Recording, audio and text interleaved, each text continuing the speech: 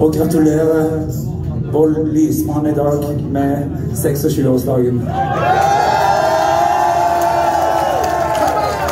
Jeg foreslår at vi trekker oss til sida og gir oss to meter her. Helt bak. Og så teller vi til ære for Thomas.